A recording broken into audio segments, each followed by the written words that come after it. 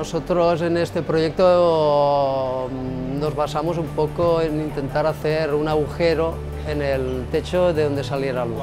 Entonces, em, las características evidentemente pues serán de una pieza muy sencilla, muy simple, porque la luz es básicamente lo que va a primar. El diseño de la lámpara consiste básicamente en diseñar el contorno dibujado para el corte del techo en este caso y un poco la inspiración fueron cornisas clásicas y rosetones utilizados en construcciones de principios de, siglo.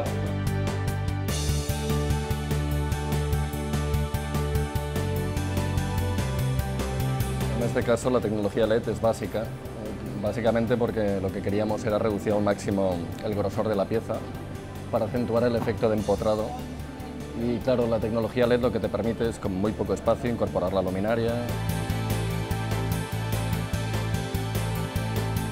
De hecho, una de las cosas más difíciles de lograr en este proyecto era una luz muy homogénea.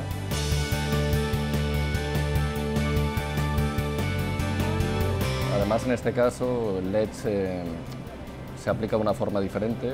La aplicamos a través de un difusor muy técnico eh, y yo creo que en este caso pues, la tecnología ha sido básica para el desarrollo de toda la colección.